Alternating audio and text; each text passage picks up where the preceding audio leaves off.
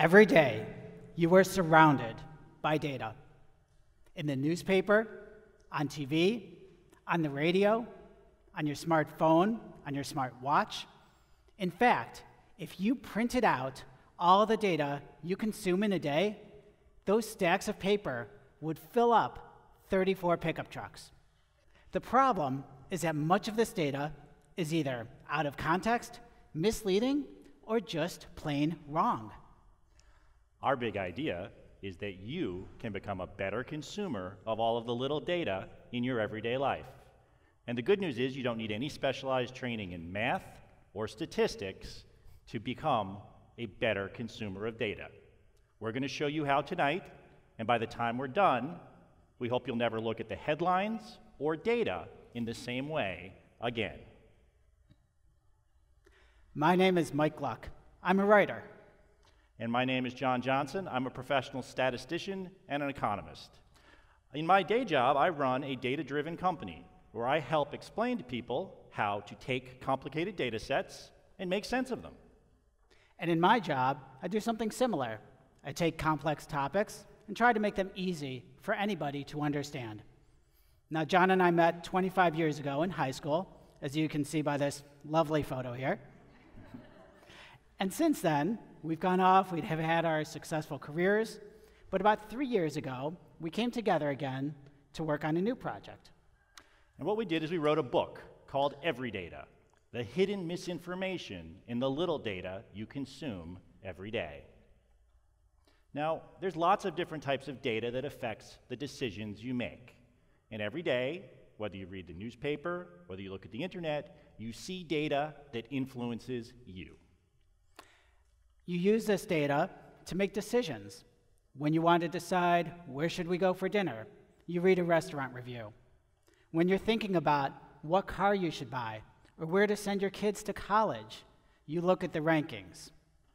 But there's a lot of misinformation in those headlines. So, how can you figure out what they really mean?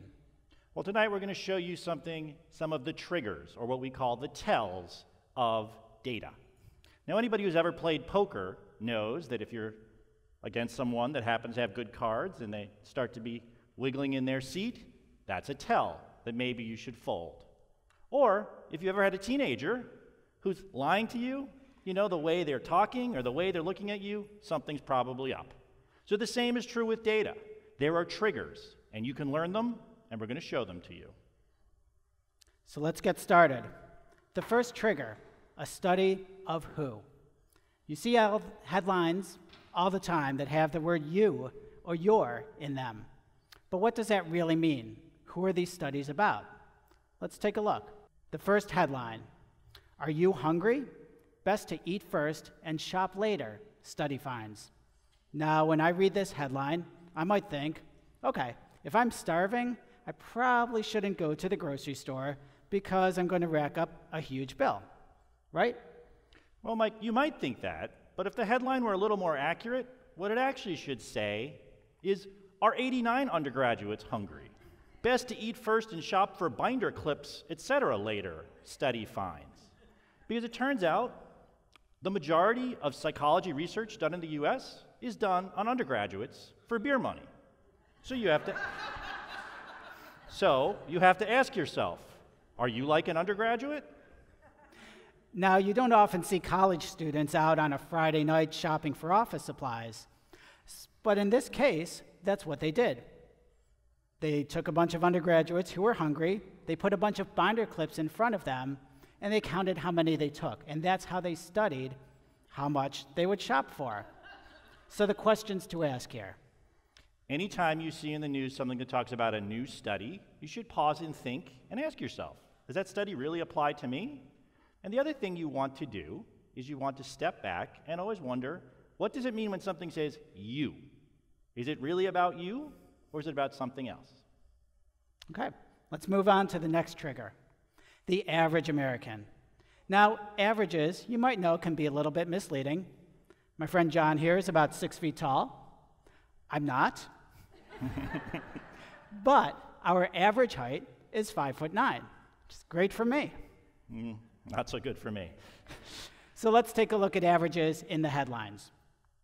The average American household owes $90,336. How do you compare? Well, if we fix this headline to be a little bit less misleading, what should it actually say? Should actually say the average American household with debt owes $130,922. How do you compare? See, because when they calculated the original average, they included all the households that had no debt at all. In fact, that was about 40% of those households. So that might give you a very different picture. You started with 90,000, but when you take out all the zeros, the average goes up by about $40,000. So when you see a headline like this, you want to ask, who is in the average? And the second question to ask, are you average? Because what happens if it happened to be the case that you bought a new car today? And so you just racked up a bunch of debt. How would you compare then? Or what if you just inherited a large amount of money and it paid off all your credit cards? You might not be average, but what does it really mean to you? Let's take a look at another trigger one out of five. You see headlines all the time one out of five doctors, four out of five dentists, nine out of ten parents. What does it mean? Now, this one caught our eye because of, you know, one in five CEOs are psychopaths, study finds. Now, John, we all know John is a CEO. I've known John 25 years. I can assure you he is not a psychopath. but what should this headline actually say, John? Well, I was really interested in this when people started to look at me funny in the hallways where I work. So I did a little research, and what it actually should say is one in five supply chain professionals are psychopaths, study of 261 people finds. Because they didn't actually look at CEOs at all. They looked at senior management professionals in the supply chain industry at companies that had over $50 million in revenues. That's a pretty specific group. Maybe CEOs are like that, but maybe they aren't. And they also only looked at 261 people, right? That's right. So they looked at a fairly small sample. And then, how did they define psychopath? Self reported behavior. So they asked people about their behavior. I don't know how many of you would like to admit that you're a psychopath, but that's something else you need to be aware of. How was the data collected? So, anytime you see four out of five, nine out of 10, just think to yourself what's, who's making up that sample and how were they selected? We all love rankings, so let's talk about where do you rank? This headline caught our eye because, hey, we love Buffalo. We love great news about Buffalo. Buffalo ranked third best food city worldwide by National Geographic. Right? Well, this, this made a lot of sense to us because if you think about the great foods in the city of Buffalo, the amazing ethnic foods, all of the tremendous restaurants that are here, pierogies, pizza, so many great things. So surely this study must have looked at the breadth of amazing foods in the city of Buffalo, right, Mike? Not quite. They didn't look at the restaurants. They didn't look at any of the foods that John just mentioned. They only looked at one food. You might be able to guess what it is chicken wings.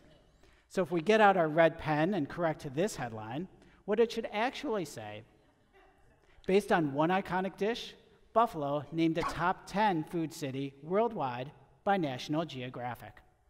See, because what this study was trying to do was not to rank the quality of the food, but to find cities where there was a food that was associated with it in an iconic way. So, Bologna, Italy, pasta bolognese. Louisville, Kentucky, the hot brown sandwich. Buffalo, New York, chicken wings. So, what's the lesson we can learn here? Let's say you eat wings for the next 20 years. One day, you might need a cardiologist. so, you look at the rankings. Well, what questions should you be asking when you're looking at a ranking of doctors? How were the doctors selected? What was the criteria by which they were ranked? What if it, you were looking at a list of top universities because it's about time to send your kids off to college? What's the criteria by which a school is ranked in the top 10? And does that matter to you and your children? All right. So. One of our favorites. You can be smarter, richer, healthier, and sexier. You see headlines like this all the time when you're going through the grocery store checkout line. Here's one Everyone loves Starbucks. We love Starbucks. Starbucks increases neighborhood and home values. Now, when I read this, I might think, okay, great. I'm shopping for a house. Let me find a neighborhood where there's a Starbucks, buy a house there, prices go up, everyone's happy. Right? Well, you might think that, but in fact, if you actually corrected the headline, it probably should read like this Neighborhood and home values increase the number of Starbucks. Because think about it Starbucks strategically places their stores. And where would they strategically place them? In neighborhoods that had high home values with growing populations where they thought the stores would thrive. So you see a relationship in the data, but it's probably not working the way the headline represents it. Here's another one of our favorites. Speaking of relationships, Grilled cheese lovers have more sex and are better people, according to a survey. So you're probably already asking some questions about this. Who are these people who love grilled cheese? And are they really having more sex? Well, if we correct the headline, what it should actually say Grilled cheese lovers say they have more sex and are better people, according to a dating website survey for National Grilled Cheese Day. So, when you're confronted with something like this, you might want to ask yourself is this truly scientific research?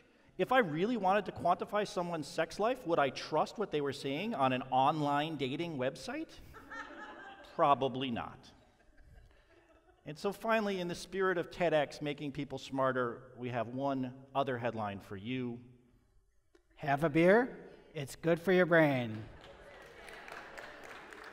Well, we took a closer look. I see the word you, and I ask, well, I wasn't in this study. And it turns out the study wasn't done on men, wasn't done on women, wasn't done on college undergrads, even though that would have been the perfect audience for a study on beer. In fact, if we correct this headline, Have 28 kegs of beer, it's good for your brain if you're like a young mouse. Because this study was done on 25 mice. And when we looked at it and determined how much beer you'd have to drink to be happy, it was 28 kegs. Now, Mike and I, No. we like beer, but if we were to drink that much beer, I'm pretty sure we would be passed out on the floor, and that would not be good for our brain. the amount of data in your life is only going to increase. And over that time, you'll continue to be confronted with headlines that make use of data, things that you will incorporate to make decisions in your life. But if you look for these triggers, you can be better than average. In fact, you can be the one in a million person that knows how to interpret the data in the headlines so it makes better decisions for you. And the good news is, you don't need a PhD. You, I've never taken a statistics course. All you need is a red pen. And with that, we hope you will never look at the headlines the same way again when you think about Everydata. Thank you very much.